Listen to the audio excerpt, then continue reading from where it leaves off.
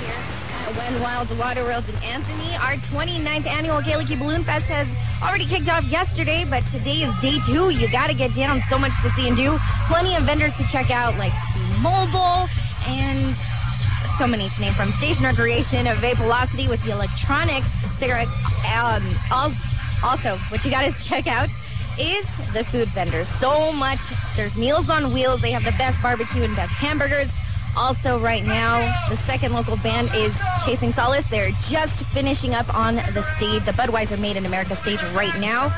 So you got to get down here. You can buy your concert tickets.